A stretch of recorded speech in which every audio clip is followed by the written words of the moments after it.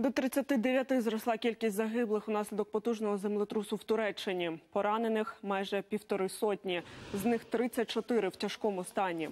Тисячі жителів лишилися без даху над головою. Майже через дві доби з-під завалів витягли півсотні живих людей. Їх доправили до лікарень. Рятувальники не припиняють роботи ні на хвилину. Епіцентр поштовхів магнітудою майже 7 залягав неподалік міста Сівріджа. Найбільших руйнувань зазнали провінції Анкара і Малатія на сході країни. Хотіли було повернутися додому, тільки но вийшли, відчули авторшок магнітудою приблизно 5. Тому одразу кинулися сюди. Тут безпечніше, годують, дають ночівлю. Однак дуже холодно, доводиться палити тут вогнище.